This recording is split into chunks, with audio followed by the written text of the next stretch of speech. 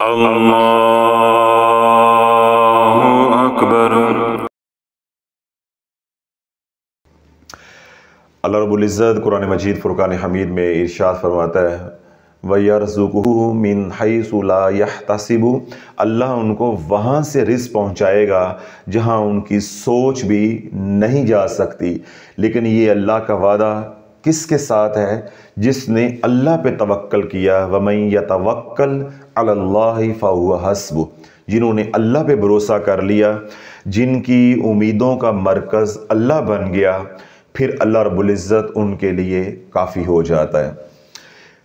खाल के कायनात ने कुरान मजीद फ़ुरक़ान हमीद के अंदर जहाँ जहाँ भी तोहद के मजमून को बयान किया है, उस तोहीद के मजमून का जो सारा मकसूद और मतलूब है उसको अल्लाह रब्बुल-इज़्ज़त ने लाकर इकट्ठा कर दिया है। सूरत तोबा की आखिरी आयत आयत नंबर एक सौ उनतीस के अंदर। तो रब हुक्म फरमाता है, फ़कुल हसबी अल्लाह, कहो कि मेरे लिए मेरा अल्लाह काफ़ी है। ला इलाहा इल्लाहु अलैहि व हुवा रब्बुल अर्शिल अज़ीम। अल्लाह के अलावा कोई मबूद नहीं है, मैंने उसी के ऊपर भरोसा किया, जो अरश अज़ीम का भी रब है। तो तोहीद का जो सारा मकसूद और मतलूब है, वो क्या है? तवक्ल क्या है? तवक्ल अल्लाह हमसे ये चाहता है कि मेरी तोहीद को तुम बयान करते हो, या मेरी वाहदानियत के कायल हो, मेरी ज़ात और सिफ़ात के कायल हो, ईमान लेकर आए हो तो फिर मेरी ज़ात पे भरोसा करो, मेरे अहकाम को मानो, जैसे मैं चाह रहा हूँ या मैं चाहता हूँ, वैसे चलो, फिर जैसे तुम चाहोगे, मेरा निज़ाम वैसे ही तुम्हारी चाहत के मुताबिक चलेगा। शर्त क्या है कि मेरे फरमान के ऊपर भरोसा कर लो, यानी तवक्ल जो है वो कर लो। अब अल्लाह तवक्ल जो है, वो चार तरह का होता है। अब यहाँ बात बड़ी हसास है। तवक्ल कितनी तरह का है? चार तरह। का। एक तवक्ल होता है अपनी ज़ात पे होना यानी अपनी काबिलियत के ऊपर कि मैं बड़ा काबिल हूँ मैं बड़ा जहीन हूँ मैं बड़ा चुस्त हूँ तो मैं तो बंदे को जो है वो आईने में उतार लेता हूँ शीशे में उतार लेता हूँ। तो अपनी सलाहियतों के ऊपर यानी अपनी जान के ऊपर या अपने नफ्स के ऊपर तवक्ल होना, यानी भरोसा होना। पहली किस्म भरोसे की तवक्ल की ये होती है कि इंसान अपनी ज़ात के ऊपर भरोसा कर रहा होता है। दूसरा तवक्ल होता है दूसरों की ज़ात पे भरोसा करना, यानी मखलूक के ऊपर भरोसा करना, मखलूक के ऊपर तवक्ल करना कि कल मेरे ऊपर कोई मुसीबत आएगी तो मेरा चचा जो है वो आईजी पंजाब है, वो काम आ जाएगा। मेरा फ़लाँ रिश्तेदार जो है, वो आर्मी में है, वो काम आ जाएगा। मैं बीमार होऊँगा तो मेरा फ़लाँ रिश्तेदार जो है, वो डॉक्टर है तो वो मेरे काम आ जाएगा। तो यूँ पहला तवक्ल इंसान करता है अपनी सलाहियतों पे, यानी अपनी ज़ात पे।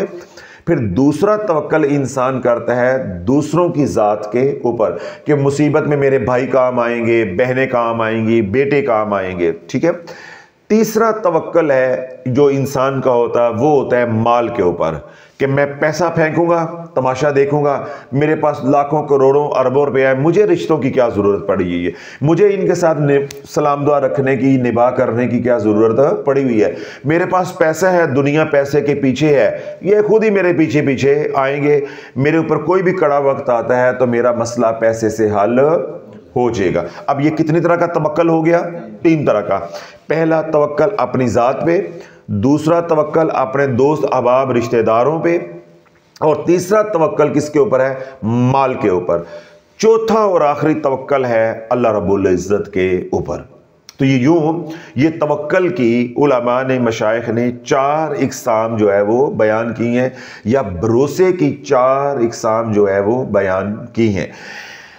अब आपका अपना ज़ाती तजर्बा भी और मुशादा मुशादा है। इस बात का गवाह है कि जिन्होंने अपनी ज़ात पे भरोसा किया, वो भी मारे गए जिन्होंने लोगों पे तकिया किया, भरोसा किया, वो भी मारे गए तो जिन्होंने माल पे भरोसा किया, वो भी मारे गए अभी देखिए, हमने कितने मरीज़ देखे हैं। उनमें छः सात लोगों ने ये कहा है कि हमारा भाई हमें उजाड़ रहा है। कोई कह रही है कि मेरी बहन ही मुझे जो है वो उजाड़ रही है।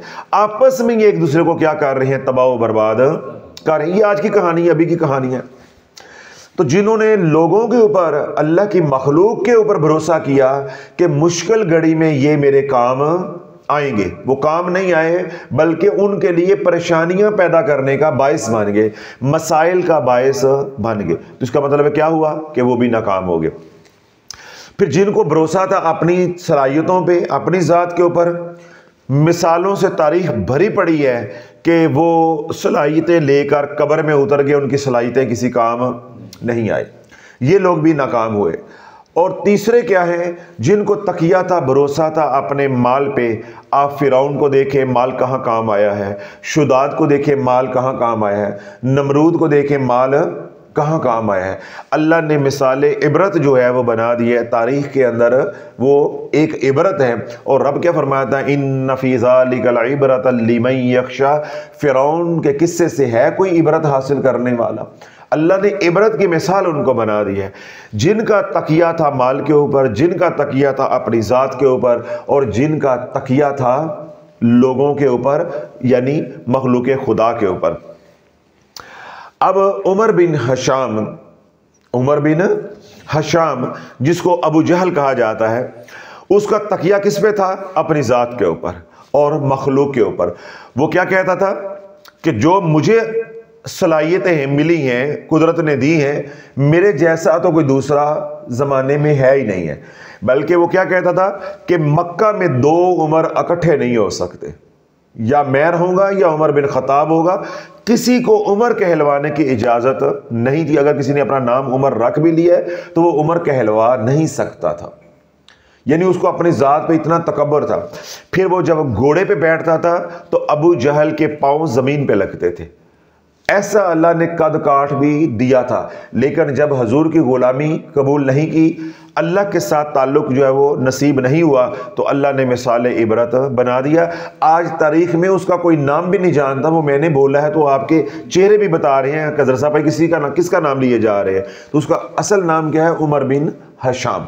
और दूसरे जो हैं, जो कबूल हो गए, वो क्या है? उमर बिन ख़त्ताब। अल्लाह के नबी सलाम ने दुआ की कि या इन दोनों में से, दोनों जो उमर हैं, इनमें से किसी को कबूल फरमा रहा और दीन इस्लाम को इज़्ज़त अता फरमा। दीन इस्लाम की जो अशात है, वो आसान हो। तो अल्लाह की बारगाह में उमर बिन ख़ताब रज़ी अल्लाह कबूल हो गए और उमर बिन हशाम जो है वो कबूल नहीं हुआ। अब उमर बिन ख़ताब जो है वो ग़ुलामी रसूल सलाम की वजह से एक रोशन मीनार बन गए, ठीक है? अल्लाह के प्यारे हो गए हजूर के ग़ुलाम बन गए। दुनिया आखरत अल्लाह ने संवार दी बल्कि एक मिसाल बना दी। और उमर बिन हशाम जो है वो रब की बारगाह में कबूल नहीं हुआ और अपनी तमाम तर सलाहियतों और जो कबाइल की सरदारी थी जो उसके साथ एक मैन पावर थी इन अफरादी ताकत थी उस उन, उस, उन तमाम सलाहियतों समेत या अफरादी क़वत समेत अल्लाह ने जो है वो इबरत के मिसाल बना दिया तो मेरा अर्ज़ करने का मकसद ये है कि जिन्होंने अपनी ज़ात पे भरोसा किया, वो भी नाकाम हुए। जिन्होंने माल पे भरोसा किया, वो भी नाकाम हुए। और जिन्होंने मखलूक पे भरोसा किया, वो भी नाकाम हुए। इस ज़माने में कोई कामयाब हुआ है या आइंदा कभी होगा तो वही कामयाब हुआ है जिसका भरोसा अल्लाह पे था। इसलिए रब फरमाता है, फ़कुल हसबी अल्लाह कहो कि मेरे लिए मेरा अल्लाह काफ़ी है, ला अलैहि तवक्कल तो वह हुआ रब्बुल अर्शिल अज़ीम। अल्लाह के अलावा कोई मबूद नहीं है, इबादत के लायक नहीं है।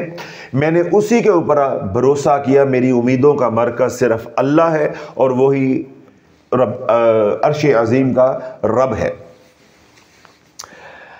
हज़रत इमाम जहदी रहमत फरमाते हैं कि जब मैंने कुरान पढ़ा क्या किया? मैंने कुरान पढ़ा। व यार जुक हो मिन तसिबु के अल्लाह रिस्क वहाँ से देता है जहाँ पे तेरा गुमान भी नहीं जा सकता। वमई तवक्ल फ़हु हसब, लेकिन ये शर्त क्या है? जिन्होंने अल्लाह पे भरोसा किया, फिर अल्लाह उनके लिए काफ़ी हो जाता है। फरमाते कि जब मैंने ये कुरान पढ़ा तो मैं, मैंने ये देखना चाहा कि मैं अल्लाह पे तवक्ल करता हूँ, फिर अल्लाह मुझे रिस्क कैसे पहुँचाता है? मैं असबाब की नफ़ी कर देता हूँ तो मैं देखता हूँ कि असबाब के बगैर रिस्क जो है वो अल्लाह कैसे पहुँचाता है? देखिए इसबाब को अख्तियार करने का हमें हुक्म है। ये जो मैं बात कर रहा हूँ, ये मुतवक्लिन की है। ठीक है? हम उनमें शामिल नहीं हैं। हम इसबाब को अख्तियार करते हैं। शादी की निकाह किया, औलाद होगी, समझ आती है। जिना किया, औलाद होगी, समझ आती है। कारोबार किया, पैसा आ गया, समझ आती है। अब औलाद निकाह के बगैर आ जाए ये समझ नहीं आती। पैसा जो है, वो कारोबार के या इसबाब अख्तियार किए बगैर आ जाए ये बात समझ नहीं आती। तो अल्लाह जहाँ हमारी समझ जाके जवाब दे देती है, वही तो अल्लाह का निज़ाम, गायबी जो है वो शुरू होता है। तो इसलिए इमाम जहादी रहमत फरमाते हैं कि जब मैंने रब पे तवक्ल करना शुरू किया तो फिर मैंने चाहा कि मैं इस बात को आजमाऊं कि अल्लाह इसबाब के बगैर रिज कैसे देता है।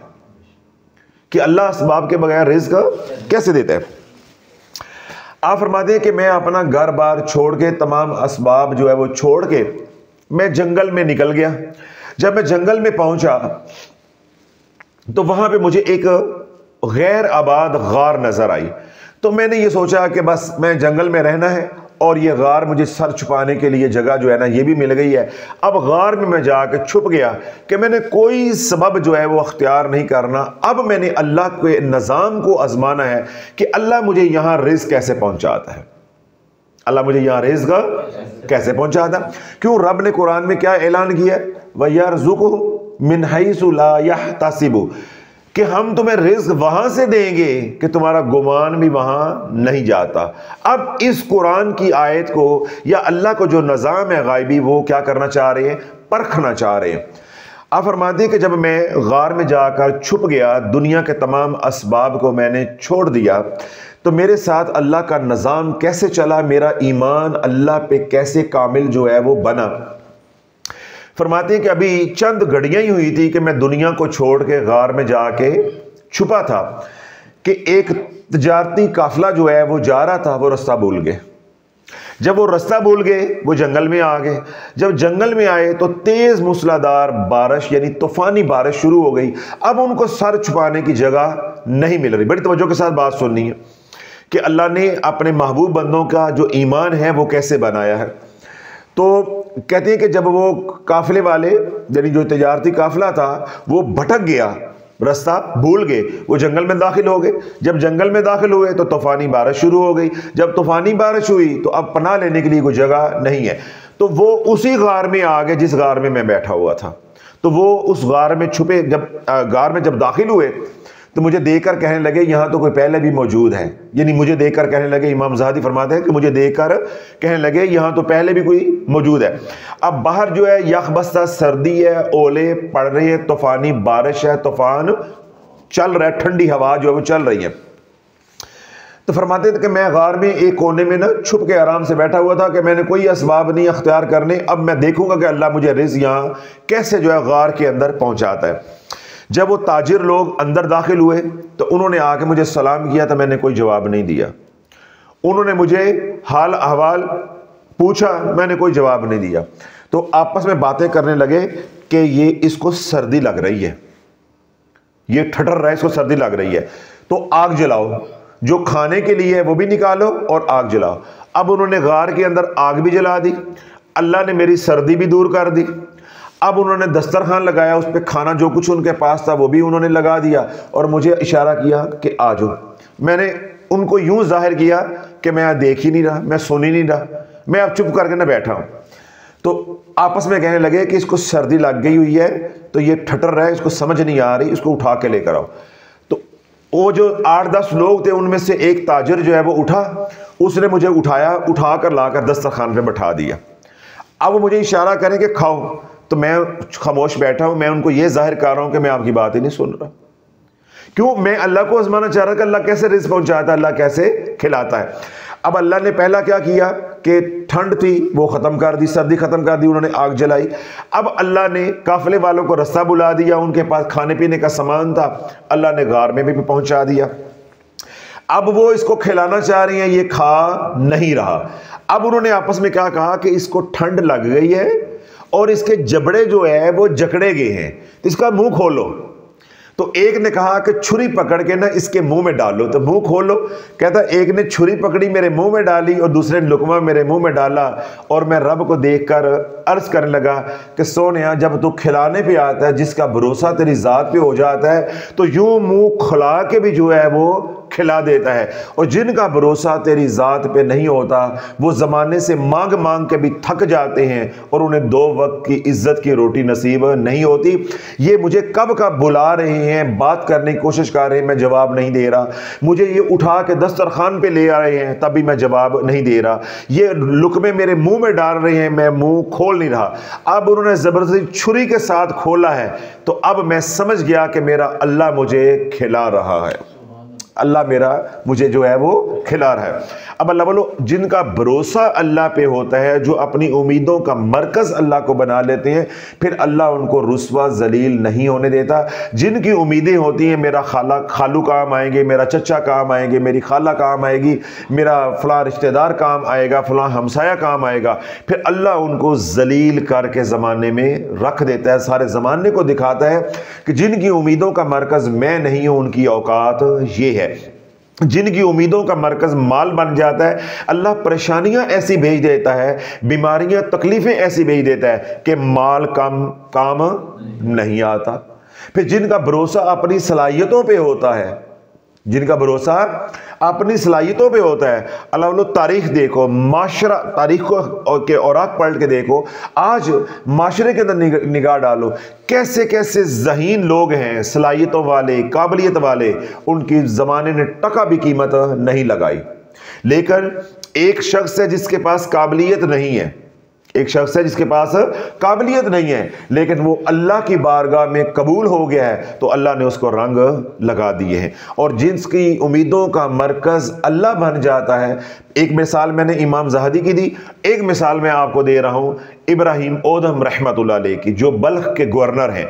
ये जो है, ये अल्लाह की तरफ़ कैसे आए, या ये राह वलायत की तरफ़ कैसे आए, या इनकी ज़िंदगी जो है वो कैसे बदली है? इब्राहिम ओदम रहमत फरमाते हैं अपने बारे में कि जब मैं बल्क का गवर्नर था, यानी बादशाह थी तो मेरा एक अजीब निज़ाम था। जैसे बादशाहों का होता है। तो मेरे जी में आया कि आज मैंने शिकार खेलने के लिए जाना है। मैं शिकार के लिए निकला तो मैंने अपने साथ जो है, वो लाओ लश्कर को भी लिया। शाही खाने भी हैं और साथ बबरची भी हैं। यानी पूरा एक जो निज़ाम होता है, वो मैं लेके जंगल में जो है, वो चल पड़ा कि आज मैंने क्या करना है? शिकार खेलना है। फरमाते हैं कि जब शिकार खेल के हम फारिग हुए तो जिस जगह पे हमने क़याम किया था तो मैंने हुक्म दिया कि खाना जो है वो लगाया जाए। तो इब्राहिम मोदम रहमत फरमाते हैं कि जब मैं खाना खाने लगा तो अचानक एक कवा आया। उसने मेरे सामने से रोटी उठाई और वो चला गया, यानी उड़ गया। तो मैंने ये सोचा कि ये कवा नहीं। अगर जो कवा ऐसी हरकत करता है कि रोटी छीन लेता है, खुराक छीन लेता है, लुकमा छीन लेता है। लेकिन जिस तरह ये आया है और इतनी ज़रूरत इसने की है कि मैं बैठा हूँ और मेरे सामने से ये उठाकर ले गया है, ये कोई और निज़ाम लगता है। तो इब्राहिम ओदम रहमत फरमाते हैं कि मैंने खाना छोड़ा, मैंने दस्तरखान छोड़ा, मैंने अपना घोड़ा पकड़ा और कवे के पीछे चल पड़ा। अब जिधर जिधर कवा जो है प्रवास करता जा रहा है, मैं नीचे घोड़ा जो है दौड़ाता जा रहा हूँ। और वो कवा जो है, वो एक पहाड़ पे चढ़, पहाड़ के ऊपर चला गया, यानी प्रवास करता। मैंने घोड़ा उधर को दौड़ा दिया, मैं भी पहाड़ पर चढ़ गया। जब मैं पहाड़ पे चढ़ा तो मैंने देखा कि कवा एक जगह पे बैठा हुआ है। यानी दूर से मुझे नज़र आया, कोई पत्थर है, कोई चट्टान है, उसी पे वो कवा जो है, वो बैठा हुआ है। जब मैं घोड़ा दौड़ाते हुए उस कवे के करीब पहुँचा तो कवा जरा डर कर उड़ गया। तो जब मैं बिल्कुल करीब पहुँचा कि यहाँ बैठ के कवा क्या कर रहा था, जिसको मैं चट्टान समझ रहा था, टेला समझ रहा था, वो चट्टान नहीं थी। दर हकीकत वहाँ एक इंसान था जिसकी मुश्कें बांधी हुई थी। इंसान था जिसकी मुश्कें बांधी हुई थी। तो मैं देख के हैरत ज़दा रह गया कि कवा जो रोटी मेरे से छीन कर लेकर आया था, वही रोटी उस शख्स के सीने पे पड़ी थी जिसकी मुश्कें बांधी हुई थी। तो मैंने उससे पूछा कि ये तेरे साथ क्या मामला है? मैं रोटी के पीछे आया हूँ, कव्वे के पीछे आया हूँ। ये रोटी मेरे दस्तरखान से छीनी गई है और कव्वा लेके उड़ा है। उस कव्वे के पीछे मैं आया हूँ। तो तेरा इस कव्वे के साथ क्या ताल्लुक है? ये क्या माजरा है? ये मैं क्या देख रहा हूँ? अब वो शख्स कहने लगा कि मैं ताजिर हूँ। तो डाकुओं ने जो है वो मुझे पकड़ लिया, मेरा मालो मता जो है वो लूट लिया, माल मेरा लूट लिया। मुझे कत्ल करने लगे थे, लेकिन मैंने माफ़ी तलब की, उनको मेरे पे तरस आ गया, उन्होंने मुझे कत्ल तो नहीं किया, लेकिन मेरे हाथ पाँव बाँध के, मुश्के बाँध के मुझे यहाँ फेंक गए। आज सातवां दिन है कि ये कवा दिन में दो दफ़ा आता है, रोटी लेकर आता है, रोटी लाकर मेरे सीने पे बैठ जाता है और अपनी चूंच से तोड़ तोड़ कर मेरे मुँह में डालता है।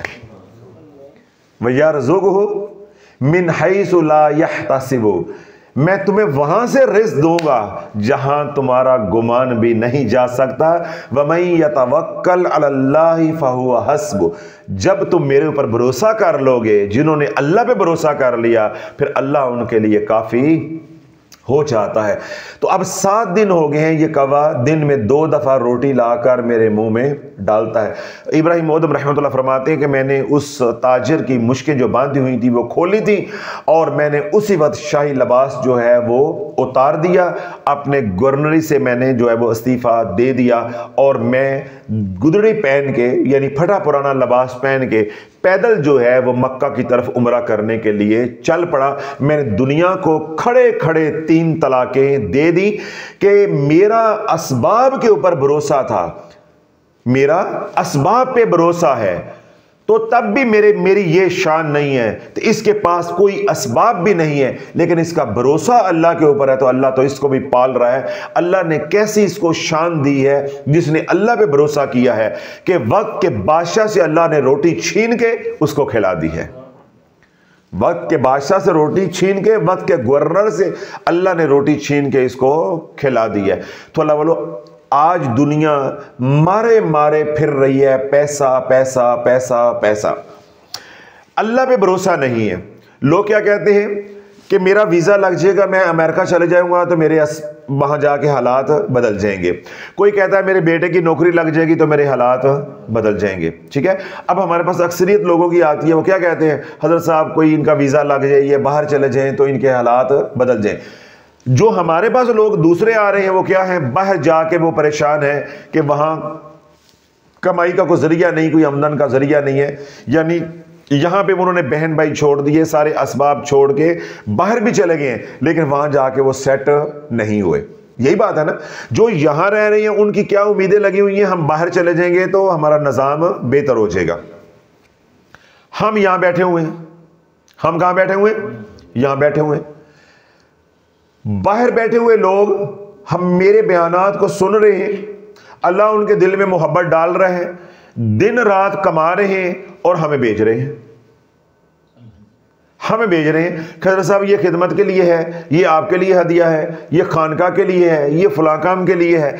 आप बस दीन का काम करें जैसे आप कर रहे हैं। हम तुम काम कर रहे हैं, दुनिया कमा रहे हैं, दुनिया हम देते हैं, हम दीन का काम करें। ये जो सारा कुछ अल्लाह दिलों में डाल रहा है, क्या ये बंदा किसी के दिल में डाल सकता है?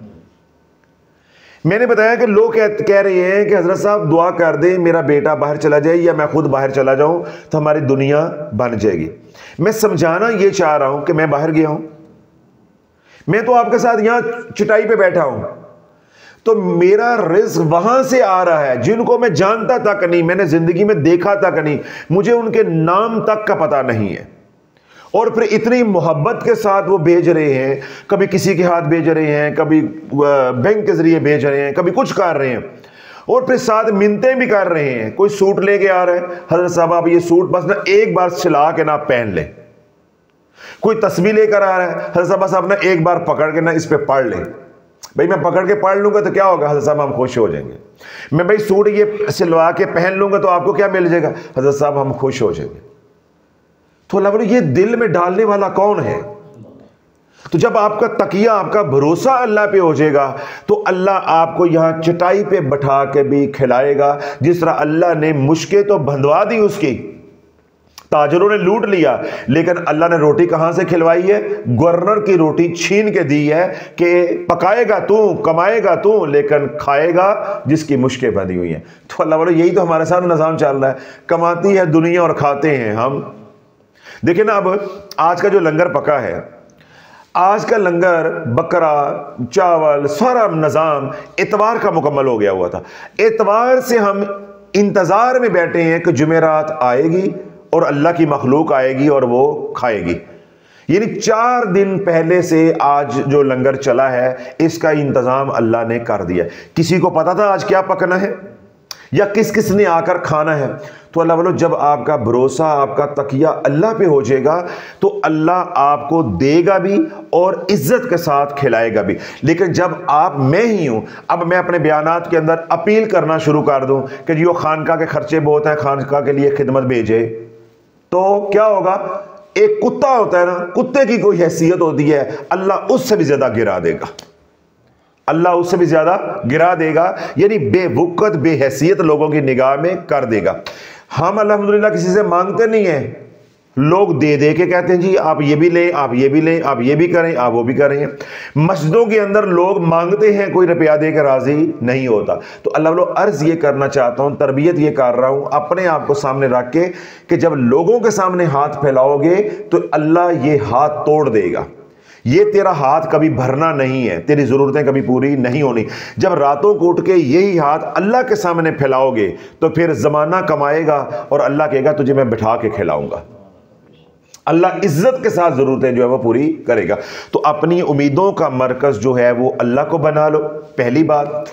अगर आप अपने मसाइल से निकलना चाहते हैं, पहली बात। दूसरी बात यह है, अगर माली तंगदस्ती है तो माली तंगदस्ती से निकलने का तरीका या असूल वजीफे नहीं है। वजीफे नहीं है। जो असूल है वो क्या है कि जिस चीज़ की कमी है, वो बांटना शुरू कर दो, अल्लाह वो चीज़ बढ़ा देगा, बस। ये असूल है। किसी तरह उम्मत को ये समझ बात आ जाए अब मैं आपको दो तीन दलीलों के साथ और मिसालों के साथ मजमून समझा देता हूँ। अगर आपकी बात समझ आ जाए तो मेरी बात पे अमल कर लें। और अगर आपको बात ना समझ आए तो फिर रसाला तो है ही है। रसाला तो फिर है ही तरपइये पचवंजा भी तो है ने? नहीं है तो चैनल्स तो हैं ही हैं। सैकड़ों चैनल्स हैं, हज़ारों चैनल्स हैं। फिर जो आप कर रहे हैं, वो आप करते रहे। अल्लाह आपको नसीब करेगा। अब अल्लाह असूल क्या है? या कानून कुदरत क्या है?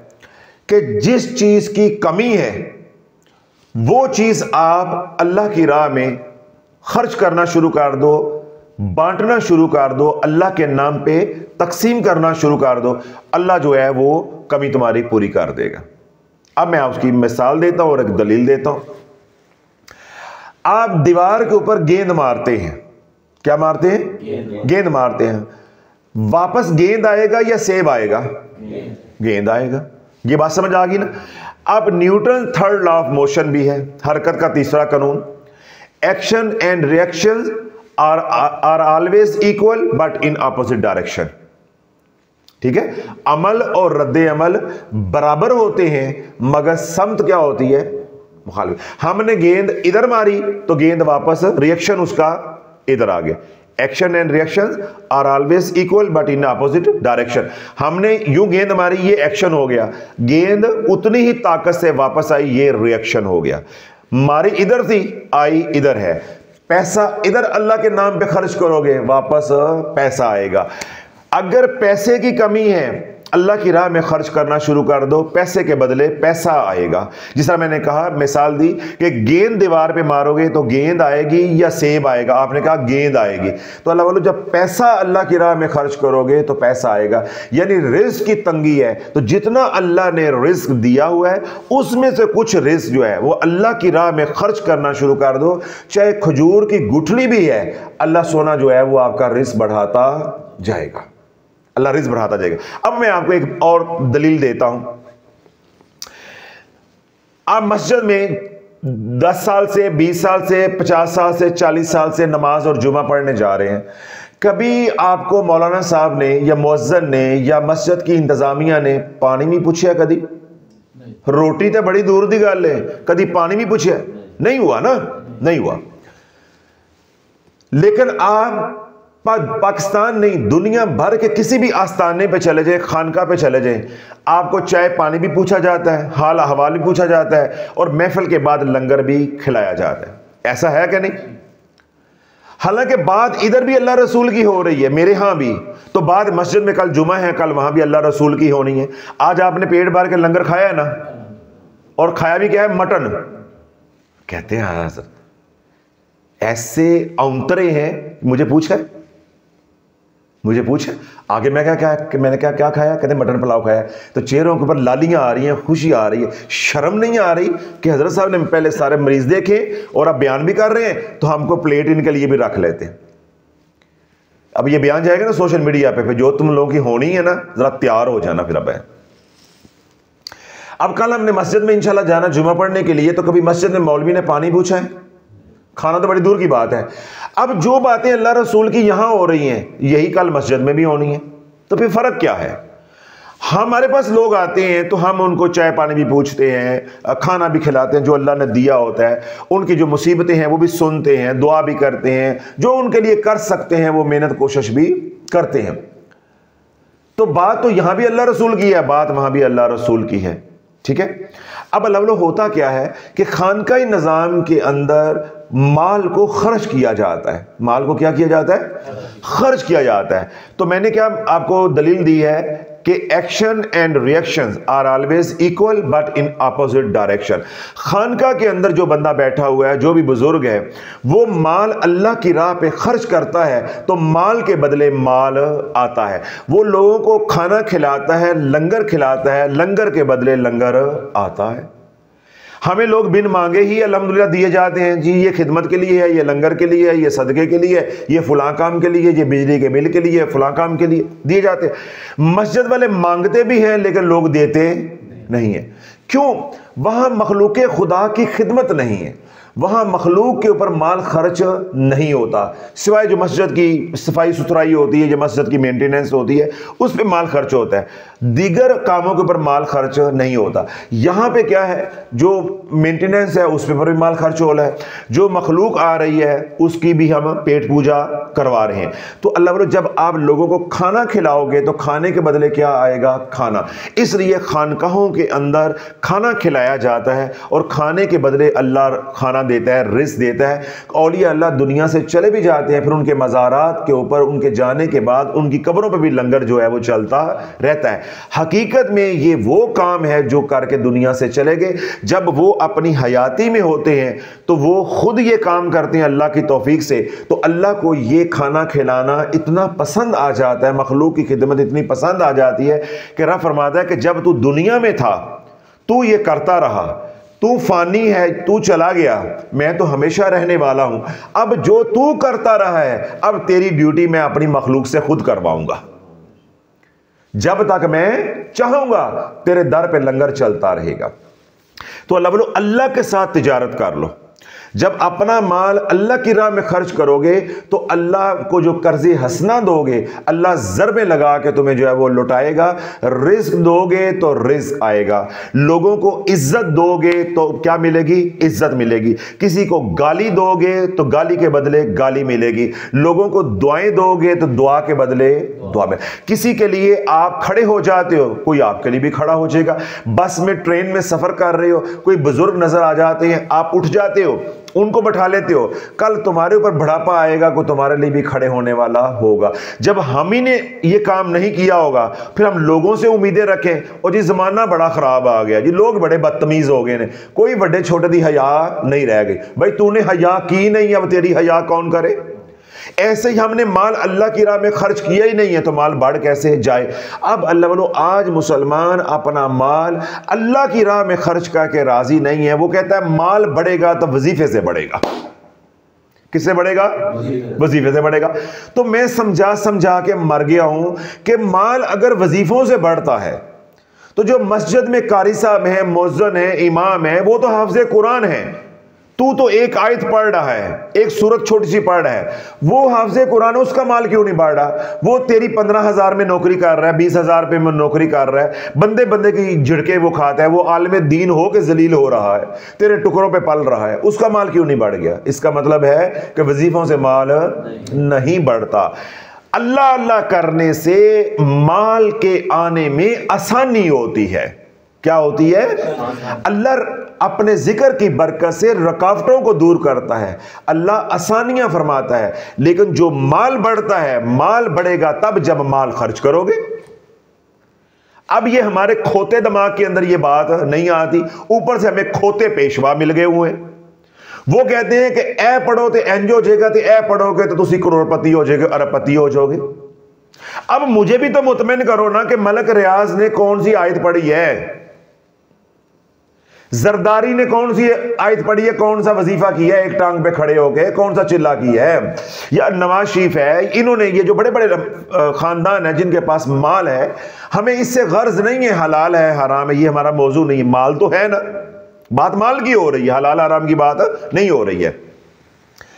जिसके नसीब में जितना माल लिखा हुआ है, वो मिल के रहना है। अब आगे अल्लाह ने यह भी लिखा हुआ है, हलाल है या हराम है। अगर उनके नसीब में माल ही ना होता तो माल कहाँ से मिल जाता? हलाल हराम हमारा मौजू नहीं है। या ना ही हम इस काम के लिए बैठे हैं किसी को ऊपर फतवा देने के लिए। मैं सिर्फ़ बात यह कर रहा हूँ, मुझे किसी तरह मुतमिन करो कि जरदारी ने कौन से वजीफे पढ़े कोई जवाब है? मलक रियाज ने कौन से वजीफे पढ़े कोई जवाब है शरीफ फैमिली है, इन्होंने कौन से वजीफे पढ़े? ये पाकिस्तान के अंदर 500 जो फैमिलीज़ हैं, जिनके पास खरबों नहीं है, खरबों डॉलर हैं, इन्होंने कौन से वजायफ जो वो किए हुए हैं? अल्लाह मैंने ये बात समझाई है आपके चेहरे उतर गए हैं। आपको बात समझ आ रही है, तुम्हारे पेशवाओं को बात क्यों समझ नहीं आ रही? अल्लाह के महबूब सलाम ने इशा फरमाया कि जो रिज लिखा जा चुका है तेरा तकवा ना उसको बढ़ा सकता है, ना किसी की मासीयत यानी गुना उसको कम कर सकते हैं। जो अल्लाह ने लिख दिया है, वो सो लिख दिया है। आगे है आसानियाँ, कि वो रिस्क मुझे आसानी से मिल जाए। अल्लाह का ज़िक्र करोगे, अल्लाह आसानियाँ पैदा कर देगा। अल्लाह की राह में खर्च करोगे, अल्लाह उसमें बरकत डाल देगा। ए टोटल फलसफा है। ये टोटल फलसफा है जो मैंने आपको बता दिया है। अल्लाह का ज़िक्र करोगे तो अल्लाह कमाने के अंदर जो रुकावटें, जलालत होती है, परेशानियाँ होती हैं, अल्लाह वो परेशानियाँ भी दूर कर देगा और अल्लाह बरकत भी डालता जाएगा। जब आप अपने माल में से थोड़ा बहुत माल गरीबों पे खर्च करोगे या दीन की अशात पे खर्च करोगे तो अल्लाह जरबे लगा के आपको लुटाता जाएगा। Action and reaction are always equal but in opposite direction हम अब माल दे रहे हैं, अल्लाह माल के बदले माल दे रहा है। हम अल्लाह की मखलूक के लिए दुआएँ कर रहे हैं, ईमान वालों के लिए दुआएँ कर रहे हैं। रब्बी जल्ली मुकीम सलाती वमिन ज़ुर्रियती रब्बना व तकब्बल दुआ। रब्बना गफिरली वली वालिदैया वलिलमुमिनीन यौम यकूमुल हिसाब। या अल्लाह मगफिरलिलमुमिनीन वलमुमिनात वलमुस्लिमीन वलमुस्लिमात यूँ हम उम्मत के लिए दुआएँ कर रहे हैं। तो दुआओं के बदले इंशाल्लाह दुआएँ आएँगी। हमें पता भी नहीं चलेगा दुनिया में कहाँ कहाँ को कौन कौन बैठ के हमारे लिए दुआएँ किए जा रहा है। तो दुआ के बदले क्या मिलेगा? दुआ। और अल्लाह ना करे किसी के लिए बद दुआएँ शुरू कर देंगे तो बद दुआओं के बदले दुआएँ मिलेंगी? दुआएँ मिलेंगी? नहीं। मिलेगी ना? तो ज़िक्र के बदले क्या मिलेगा? सवाब। ज़िक्र के बदले क्या मिलेगा? सवाब। मिलेगा। ज़िक्र के बदले क्या मिलेगा? ज़िक्र। क्योंकि रब ने वादा किया है या रब का फरमान है फज कुरूनी आज कुर तुम मेरा ज़िक्र करोगे मैं तुम्हारा ज़िक्र करूँगा। और अल्लाह का ज़िक्र कैसा है कि जब हम अल्लाह का ज़िक्र करते हैं तो अल्लाह बंदों के ज़रिए तेरा ज़िक्र करवा देता है। बंदे भी, भी तेरा ज़िक्र अच्छे अल्फाज के अंदर करना शुरू कर देते हैं। अब हमने किया वजीफा तो वजीफा है अल्लाह का ज़िक्र। तो ज़िक्र के बदले क्या होगा कि डॉक्टर साहब बड़े अच्छे आदमी हैं। फ़लाँ साहब बड़े अच्छे आदमी हैं। वो फ़लाँ बंदा जो है, वो बहुत खूबसूरत है, बहुत अखलाक का जो अच्छा है। इन अच्छे अल्फाज में याद करेंगे। अब ज़िक्र के बदले क्या मिलेगा? तो ले लो जे पेट भर है, इतना ले लो यही तो मैं रोता हूँ कि वजीफे पढ़ पढ़ के जड़े तुम झोली च बेर पाए ने ना वो मैनू भी पता है। तो जिनका शौक अभी है, वो और चार वजीफे कर लो। इसलिए हमें कोई डर नहीं है। इसलिए हम ठोक के सौदा बेचते हैं कि हमें कोई अंदर धक धक नहीं है। जहाँ भागना है, भाग लो। और हम बात मिसालों के ज़रिए दलाइल के साथ, इल्मी दलाइल के साथ समझा रहे हैं कि अल्लाह ने वादा किया है कि ज़िक्र के बदले ज़िक्र। तुम मेरा ज़िक्र करो, मैं तुम्हारा ज़िक्र करूँगा। और बंदे का ज़िक्र क्या है कि अल्लाह मखलूक के अंदर उसके चर्चे जो है वो करवा देता है। आसमान पे चर्चे हो रहे हैं। हूरो गुलमान में उसके चर्चे हो रहे हैं, ज़मीन पे उसके चर्चे हो रहे हैं। अल्लाह जो चुरिंद परिंद है, उनसे दुआए इस्तफार जो है, दुआए मफरत शुरू करवा देता है। दरियाओं, समंदरों के अंदर मछलियाँ अल्लाह उनसे इस्तफार करवा रहा है, चर्चे करवा रहा है। तो ज़िक्र के बदले क्या मिल रहा है? रोटी नहीं मिलती। यही तो बात समझ नहीं आई कि लोगों ने रिस्क की तंगी के लिए वजीफे पड़े और जड़ी है ऐसी वो भी कहाँ लै गया? क्यों सरवर साहब? वो भी कौन लै गया? वो भी कहाँ लै गया? यानी पीर वो भी खा गए। मौलवी आमिल तवीज दागे वाले, वो जी चार पैसे आए वो भी खा गए। तो वजीफे किस लिए किए थे? अमीर होने के लिए। भाई, मैं आपको असूल समझा रहा हूँ। असूल को समझने की कोशिश करो कि दुआ के बदले बद दुआ के बदले तो ज़िक्र के बदले, ज़िक्र मिलेगा। तो रोटी के बदले, रोटी मिलेगी। तो अगर रोटी बढ़ाना चाहते हो तो रोटी बांटना शुरू कर दो। अल्लाह जरबे लगा के वो रोटियाँ तुम्हें वापस दे देगा। अल्लाह की राह में खर्च करना शुरू कर दो। अल्लाह की राह में जब रिस्क दोगे तो रिस्क के बदले अल्लाह रिस्क तुम्हें अता करेगा। फिर कैसे अता करेगा? को मेरा फतवा नहीं है या मैं किसी के खिलाफ बात नहीं कर रहा। मैं तो आपको आईना दिखा रहा हूँ और वो बता रहा हूँ जो कुरान ने बताया। अब रब क्या फरमा रहा है? इन नल मुसद्दिकीन इन्नल मुसद्दिकीन वल मुसद्दिकात। व अकरजुल्लाह करजन हसन। व अकरजुल्लाह करजन हसन युज़ाफु लहुम व अजरुन करीम। अल्लाह की राह में खर्च करने वाले मर्द, अल्लाह की राह में खर्च करने वाली औरतें जिन्होंने अल्लाह को कर्ज हसना दिया। जिन्होंने अल्लाह को कर्ज हसना दिया, फिर अल्लाह के हाँ बड़ा ही उसका अजर बढ़ाया जाएगा, यहाँ तक कि उनको अजर करीम अता किया जाएगा। और अजर करीम उसको कहते हैं कि तुम्हारी तो से भी कई गुना ज़्यादा हो, तुम सोच भी ना सको, इतना अजर दे दिया जाए, थोड़ा खर्च करने पे उसको अजर करीम कहते हैं। फिर अजर करीम उसको कहते हैं कि देने के बाद वापसी का तकाजा ना हो। अल्लाह कहता है, मेरी राह में खर्च करो। अब यहाँ मुझे कोई यह समझाए एक वजीफा कितने आ गया है? वजीफा तो ज़िक्र है। वजीफा क्या है? ज़िक्र है। तो ज़िक्र के बदले कुरान कहता है फ़र्ज़ कुरोनी आजकुरकुम तुम मेरा ज़िक्र करो तो मैं तुम्हारा ज़िक्र करूँगा। उसकी मैंने वजाहत कर दी कि अल्लाह का ज़िक्र क्या है कि अल्लाह बंदों में हमारा ज़िक्र जारी करवा देता है। जिस तरह आज बाबा फरीद रहमत को दुनिया से गे भी 800 साल हो गए हैं तो बाबा फरीद बाबा फरीद हो रही है ना?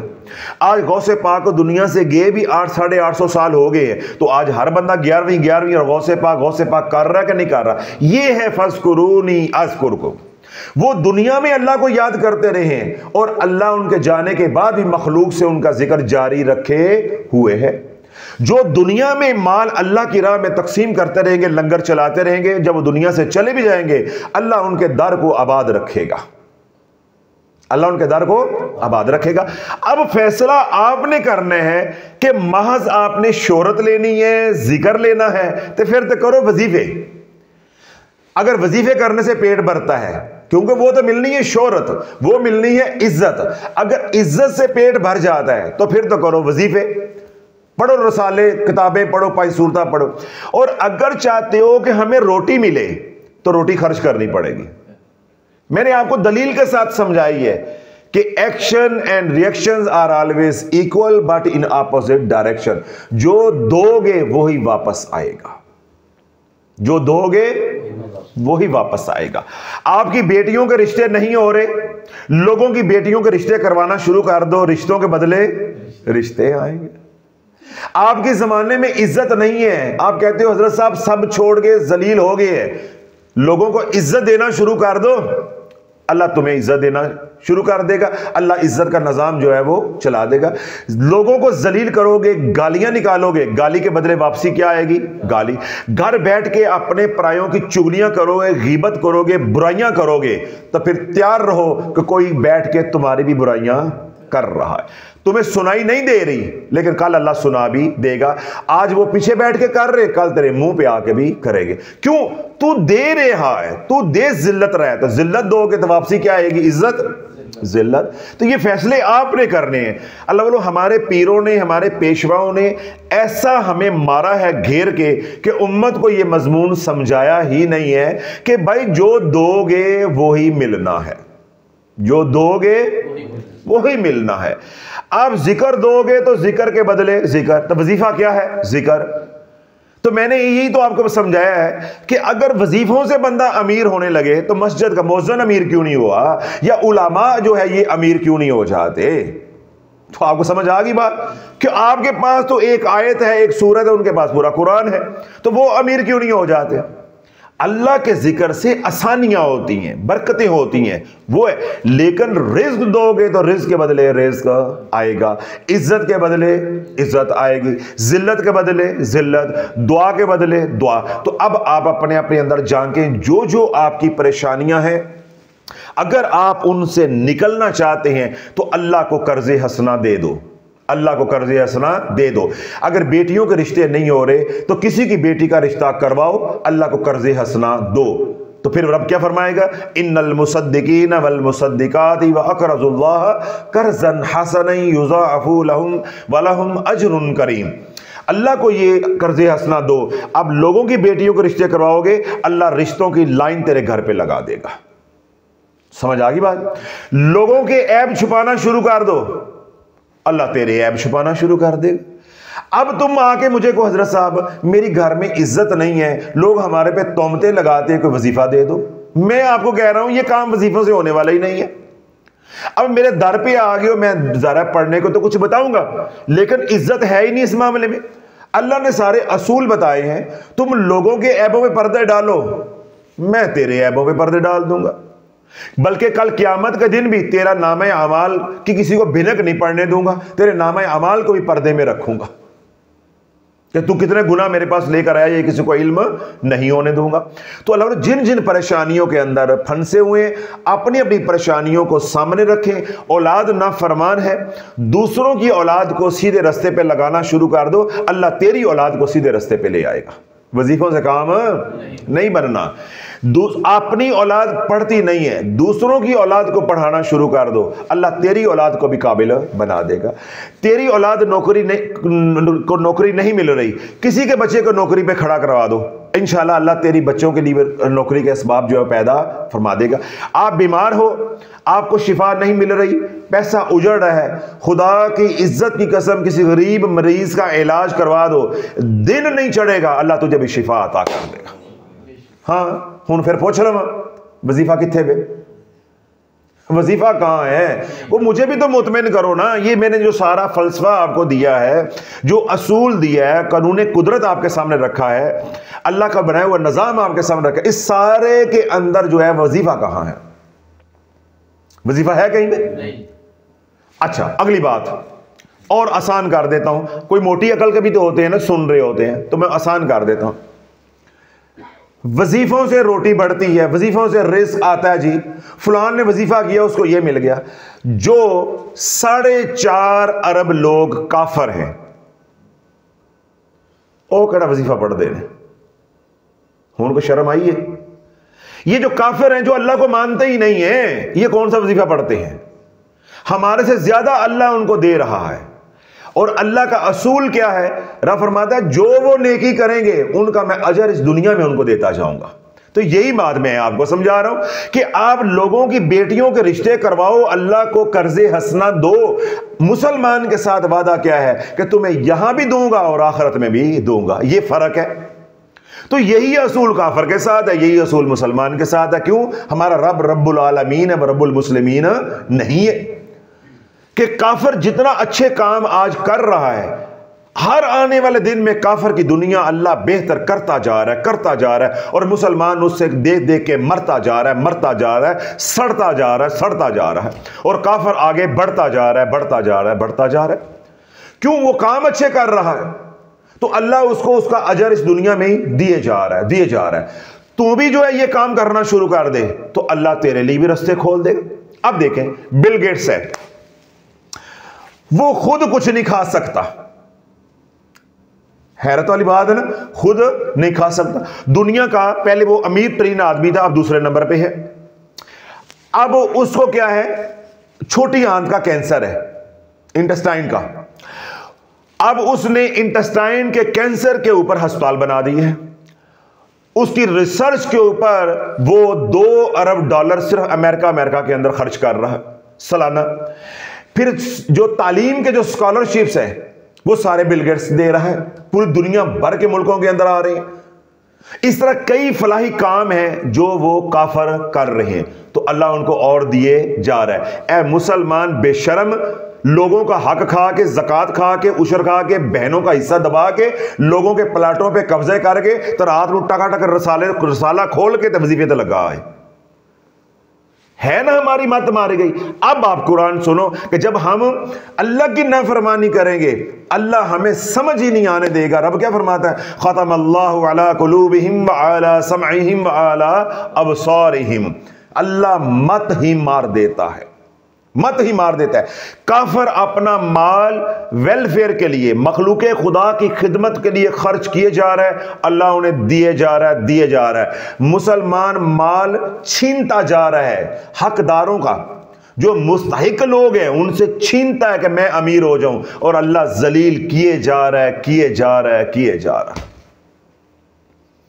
और अपना यकीन किस बात पे बना दिया या पीरों ने यकीन फिर किस बात पे बना दिया है? कि जी, वजीफे पढ़ोगे तो माल बढ़ जाएगा। भाई, वजीफे का ताल्लुक माल के साथ है ही नहीं है। रिश्ता करो वजीफा पढ़ो, रिश्ता हो जाएगा।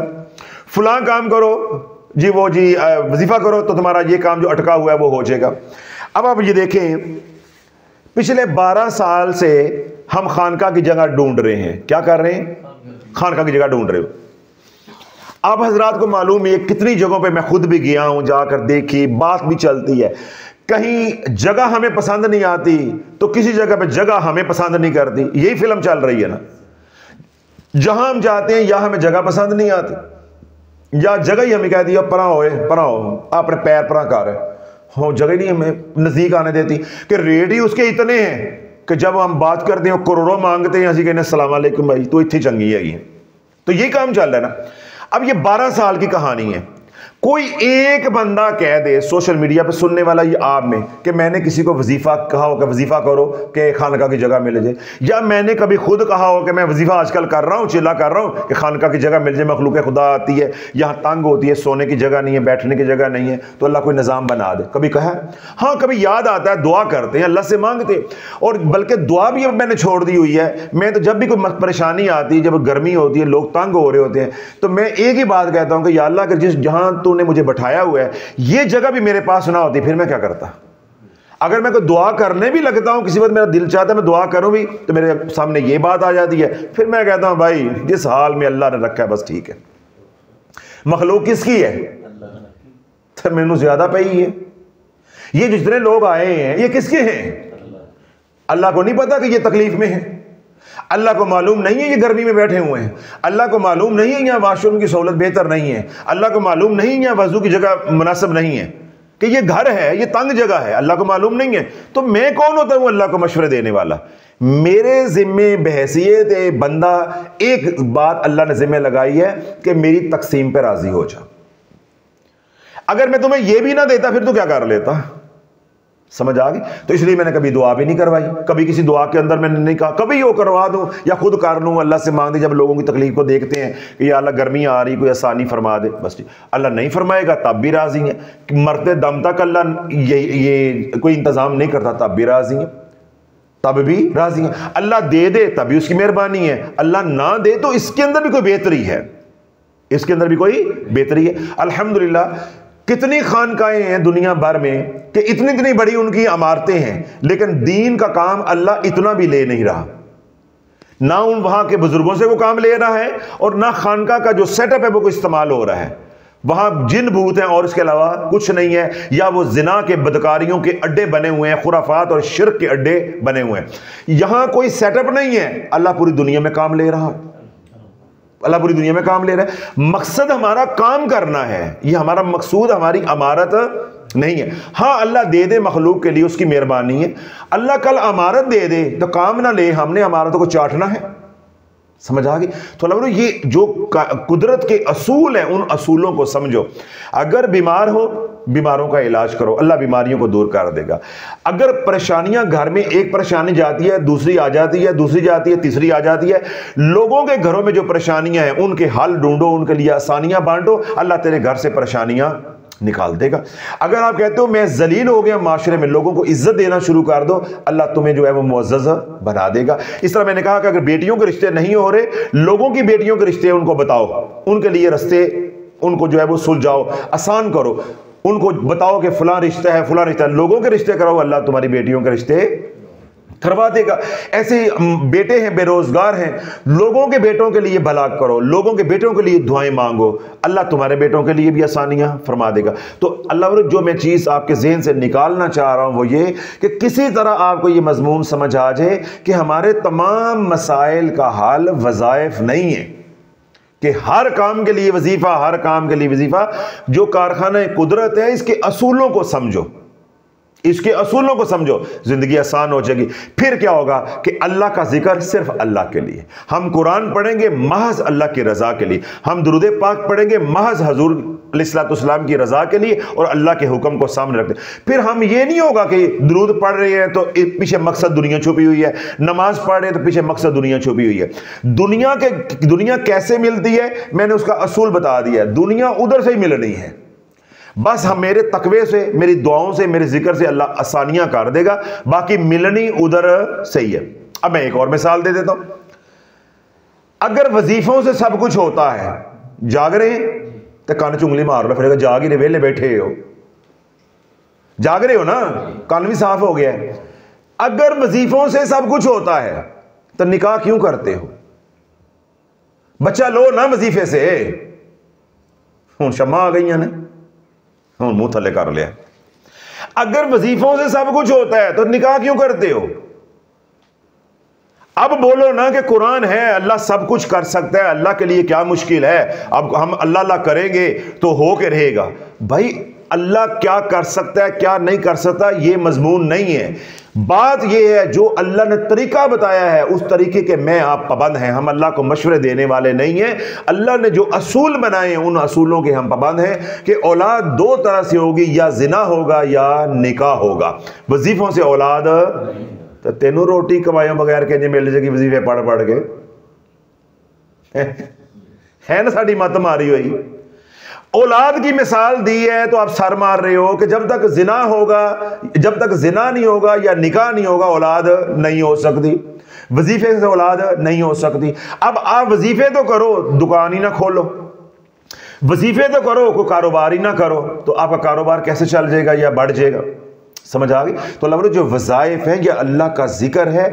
ये जो शयातीन रकावटें खड़ी करते हैं हमारे रस्ते में, ये ज़िक्र उन रकावटों को दूर कर देता है।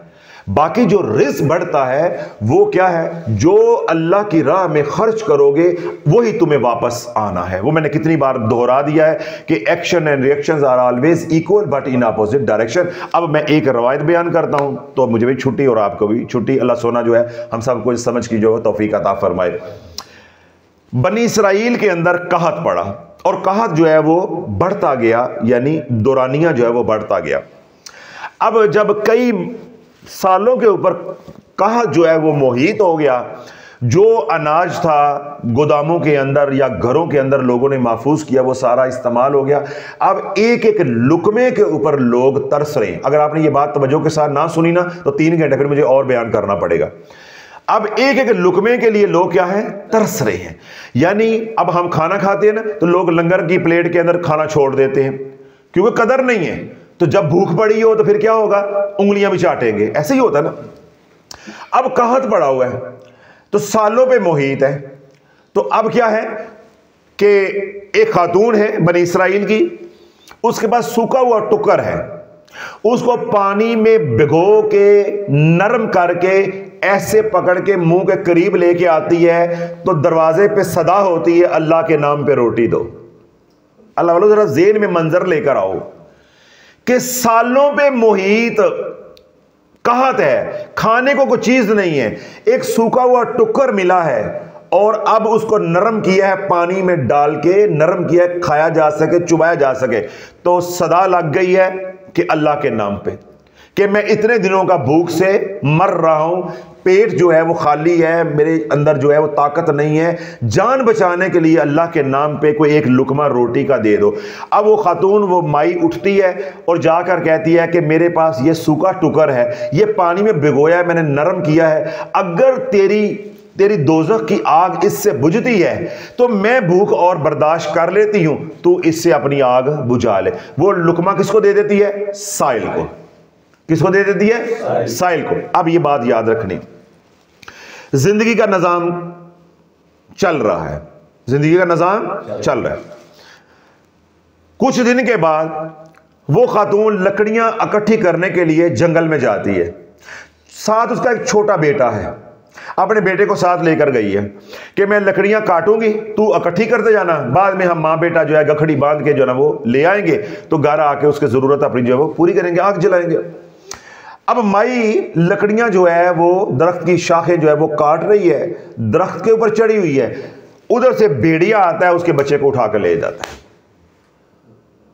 क्या करता है? बेड़िया उसके बच्चे को उठा के अब माँ है, माँ का तो कलेजा बाहर आ गया। उसने चीखो पुकार की। अब वो माँ जो है, उस बेड़िए के जो पाओ के निशान हैं, उन निशान को देखती हुई उसी तरफ़ भागी जा रही है, जिधर बेड़िया उसके बेटे को लेकर जा रहा है। इधर बेड़िए ने बेटे को उठाया, उधर माँ का कलेजा बाहर आया, उधर अल्लाह ने अकाउंट खोला कि इसने हमारे अकाउंट में जमा आज तक क्या करवाया है। किसी की जान बचाई थी इसने? नहीं जाग रहे नहीं जाग रहे या आपको समझ आ गई कि आज शाफी ने वजीफा से तोबा करवा के जान छोड़नी है? उसने किसी की जान बचाई थी? माई ने किसी की जान बचाई थी? रोटी दी थी? जान बचाई थी ना? अब अल्लाह का निज़ाम हरकत में आ गया। रब ने जबरील कहा जबरील जरा चाती पा ना, कि जान के बदले आज जान है। वजीफे के बदले वजीफा माल के बदले माल जान के बदले जान। है। ये असूल समझने की कोशिश करो। जब ये अल्लाह वालू असूल समझ आ जाएगा ज़िंदगी की सारी परेशानियाँ खत्म हो जाएँगी फिर। अब जब खोला गया खजाना नाम अमाल तो जबरील अमीन इस्लाम ने अर्ज़ की कि या अल्लाह इसने सूखा हुआ टुकर दे के तेरे एक बंदे की जान बचाई थी। तो कर्ज हंसना तो चला गया ना। तो रब का कुरान क्या है? इन नल मुसद्दिकीन वल मुसद्दिकाती व अकरजुल्लाह कर्जन हसना। तो कर्ज हंसना तो चला गया हुआ है। रब ने फरमाया, जिब्रील, पहुँच कि उसने मोहताज होके हमें कर्ज दिया है और मैं मुख्तार होके उसका कर्ज वक्त पे ना लौटाऊं तो मुझे खजानों का मालिक कौन कहेगा? मुझे मुख्तार कौन कहेगा? उसने मजबूर हो के मुझे कर्ज दिया हुआ है। और मैं मुख्तार हो के आज घड़ी आ गई है ज़रूरत की। तो आज ना लौटाऊं, मैं कहूँ जी, कल दवांगे, परसों दवांगे। तो मेरे में और कंजूस में, मेरे में और बंदे में क्या फ़र्क रह जाएगा? जबरील सलाम आए, जिस गार के अंदर भेड़िया, उसका बच्चा पकड़ कर लेकर गया था। जबरील अमीन इस्लाम ने बेड़िए के मुँह से बच्चे को निकाला। उधर माँ बेड़िए के पाँव के जो निशान है, नक्शे जो पा है, उन्हीं पर चलती हुई जब गार में पहुँची तो जबरील अमीन इस्लाम उसके बेटे को लेकर खड़े। बेटे को हवाले किया, माँ को कहने लगे कि रब पुछदा पे आए। रब पुछदा पे आए। रब ने सना भेजे आए। रब पूछ रहा है कि तूने हमारे नाम पे लुकमा दिया था। उस लुकमे के बदले में हमने तुझे लुकमा दिया क्या तू राज़ी है? तूने हमारे नाम पे एक लुकमा दिया था। आज हमने भी लुकमा लुटाया है। क्या तू राज़ी है? अल्लाह वालो, एक सूखा टुकर दे के बेटा बच जाए कि ये सौदा घाटे का कैसा उसने अपनी शान के मुताबिक जो है वो नमाज़ है? सवाल फिर मेरा वही है इतने वजीफा कितने आ गया खुदा की कसम अगर इतना भी ईमान हो उम्मत के अंदर तो उम्मत शर्म से मर जाए शर्म से मर जाए और आज के बाद अल्लाह को महज इसलिए अल्लाह कहे कि अल्लाह है ही इस काबिल के उसको अल्लाह कह के पुकारा जाए कि मेरा मबूद, मेरा रब है ही इस काबिल कि उसका ज़िक्र होना चाहिए। यही राबिया बसरी रहमत रोती मर गई दुनिया से चली गई हैं कि क्या जन्नत और जहन्नुम ना होती तो मेरा रब सजदों के काबिल नहीं है? आज नमाज़ पढ़ी जा रही है तो काका दे दो। खानका में आ रहे हैं, इसलिए कि काका लेना है। वजीफा किया जा रहा है अल्लाह का ज़िक्र किया जा रहा है तो इसलिए किया जा रहा है कि ज़रूरतें पूरी हो जाए। भाई वो ज़रूरतें हैं लेकिन ज़रूरतों के लिए जो निज़ाम है वो मैंने आपको बता दिया है। जब इस निज़ाम को समझ जाओगे तो फिर किसी वजीफे की ज़रूरत नहीं, नहीं पड़ेगी। फिर तुम्हारे हाथ उठेंगे तो एक ही बात होगी ए अल्लाह मेरे से राज़ी हो जा। अल्लाह मेरे से राज़ी हो जा। अल्लाह अपना कुर्ब और अपनी मार्फत अता फरमा दे अपने महबूब की गुलामी अता फरमा दे कुरान पढ़ोगे तो आँसू छलकेंगे अल्लाह तू राज़ी हो जा। अल्लाह की राह में खैरात करोगे तो अल्लाह तू राज़ी हो जा। फिर कदम उठाओगे, आने के लिए घर से निकलोगे, खानका के लिए एक एक कदम पे कहोगे अल्लाह मैं तेरे लिए जा रहा हूँ, मैं काका लेने नहीं जा रहा, कारोबार नहीं लेने नहीं जा रहा, वजीफों के लिए नहीं जा रहा, बीमारियों के लिए नहीं जा रहा, मैं तुझे राज़ी करने के लिए जा रहा हूँ। एक एक कदम के ऊपर तुम मांगते हुए दुआएँ आओगे अल्लाह राज़ी हो जा ए अल्लाह राज़ी हो जा। तो अल्लाह वालों सौदा अब आपके सामने है। असूल मैंने बयान कर दिया है। अब अपने मसले जो है वजीफ़ों से हल करने हैं तो मैंने पहले भी आपको कहा कि अल्लाह आपको नसीब करे। रसाला भी आपके पास है, किताबें भी आपके पास है चैनल भी आपके पास है। जिस तरह कारखाना कुदरत ये चल रहा है, जिन असूल जवाबत के मुताबिक चल रहा है, वो असूल भी मैंने बयान कर दिए अगर बनी इसराइल की खातून ने एक लुकमा अल्लाह के नाम पर कुर्बान किया है तो अल्लाह ने फिर उसको लुकमे का बदल जो है, वो कैसे अता किया है? वो लुकमा किसके लिए था? इंसान के लिए। और उसका बेटा लुकमा किसके लिए था? भेड़िए के लिए। अल्लाह ने भेड़िए के मुँह से भी निकाल के वापस कर दिया है और जबरील को भेज दिया है। देखो, फरिश्ता कौन सा आया है? नूरियों का सरदार, जिनकी रफ्तार सबसे ज़्यादा है, ताकि भेड़िया उस बच्चे को नुकसान भी ना पहुँचाए। ए जबरील, उससे पहले पहुँचना है। आज कर्ज लुटाने का वक्त आ गया है। आज माई ने धरती पे तकाजा कर लिया है। अल्लाह, मैंने तेरे नाम पे मैंने तेरे नाम पे जो मेरे पास था, मैंने लौटा दिया। आज मैंने तुझे मदद के लिए पुकारा है, मेरा बेटा मेरे सामने बेड़िया उठा कर ले गया है। अगर तेरी मदद ना आए तो मैं तुझे कैसे अल्लाह कह के पुकारूँगी? कभी अल्लाह के साथ यारी लगा के तो देखो। यारी लगा के तो देखो। तो अल्लाह बोलो, अपना किबला दुरुस्त कर लो। जब किबला दुरुस्त हो जाएगा तो फिर आपको ज़िंदगी भर वज़ाइफ की ज़रूरत नहीं पड़ेगी। जो अल्लाह का ज़िक्र करोगे, महज अल्लाह की रज़ा के लिए करोगे। नमाज़ पढ़ोगे तो अल्लाह की रज़ा के लिए। दुरुद पाक पढ़ोगे तो अल्लाह की रज़ा के लिए। इस्तफार करोगे तो अल्लाह की रज़ा के लिए। यानी दुनिया का जो काम भी करोगे, उससे आपकी दुनिया भी बनती जाएगी और इंशाल्लाह आपकी आखरत भी बनती जाएगी। तो आप हजरात की खिदमत में दस बस्ता जो अर्ज़ करनी थी वो ये कि अल्लाह वालो आमाल तो करते हो जो अमाल आप करते हो, वो तो सो करते ही हो। इस फकीर के कहने पे जैसे मैंने कहा है, ऐसे ज़िंदगी सात हफ़्ते गुजार के देख लो। अगर ज़िंदगी का रुख ना बदल जाए तो फिर कहना। जैसे मैंने ये बयान किया है, इस बयान को दोबारा एक बार, दो बार घर जाकर दोबारा सुने तो अगर आपका सात हफ्तों के अंदर ज़िंदगी का रुख ना बदल जाए तो शाफी जिम्मेदार है। अगर परेशानियों से अल्लाह ना निकाल दे भमर से अल्लाह ना निकाल दे, शाफी जिम्मेदार है।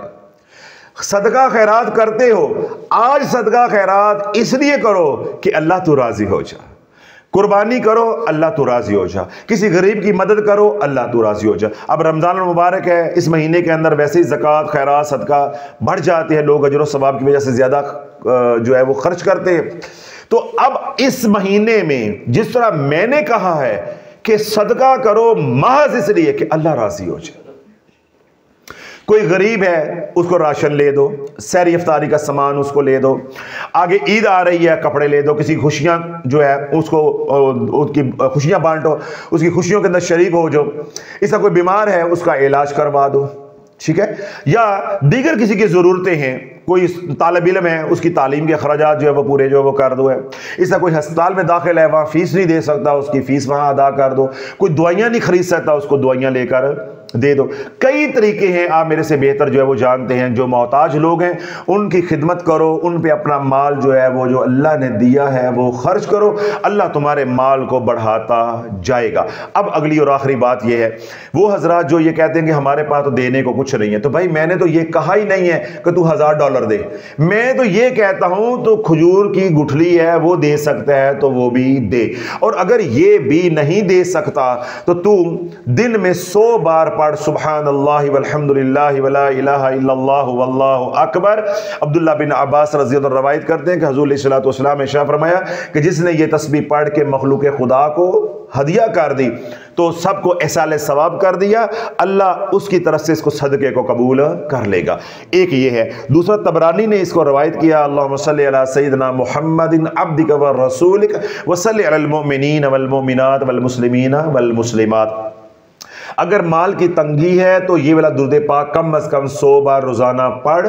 इसमें हजूर की उम्मत की बख्शिश के लिए दुआ कर, तमाम ईमान वालों की बख्शिश के लिए दुआ कर। अल्लाह तेरा रिस्क भी खोल देगा, अल्लाह तेरे लिए आसानियाँ भी फरमा देगा, और ये दुर्द पाक तेरी तरफ़ से सदका कबूल कर लिया जाएगा।